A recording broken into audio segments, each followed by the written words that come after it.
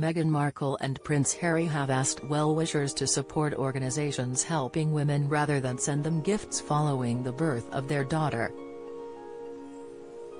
Meghan gave birth to her second child, Lilibet Lily Diana Mountbatten Windsor, on Friday at Santa Barbara Cottage Hospital in California.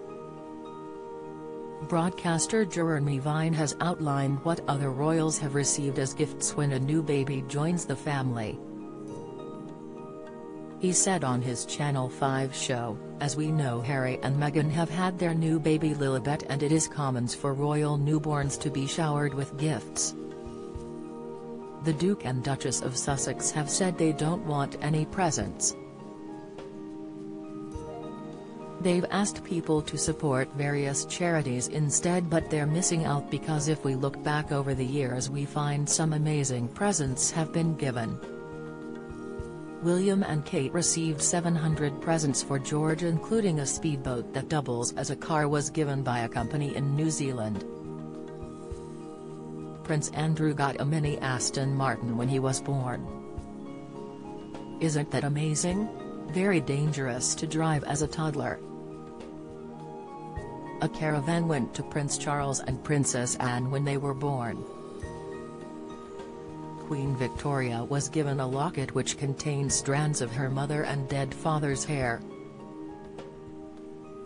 The Queen, the Prince of Wales and the Duchess of Cornwall, and the Duke and Duchess of Cambridge's social media accounts shared their congratulations on the happy news. Lilibet is the Queen's family nickname and the choice pays tribute to the monarch at a challenging time for the Windsors, who are mourning the loss of the Duke of Edinburgh.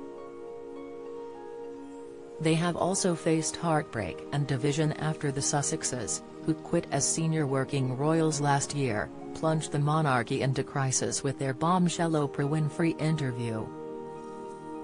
Harry made further controversial comments about his family in the following weeks, and has also experienced a long-running rift with his brother William.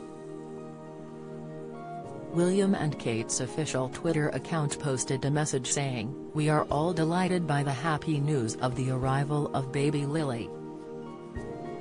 Congratulations to Harry, Meghan, and Archie. The Prince of Wales and the Duchess of Cornwall's account also welcomed baby Lilibet Diana, adding, wishing them all well at this special time. Video the monarchy's official Twitter account shared an image from Harry and Meghan's wedding day, celebrated the arrival, and noted that the baby was the Queen's 11th great-grandchild.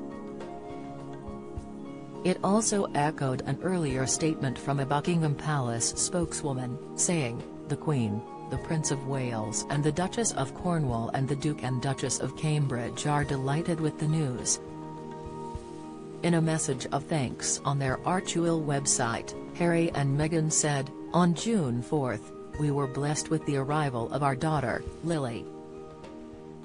She is more than we could have ever imagined, and we remain grateful for the love and prayers we've felt from across the globe.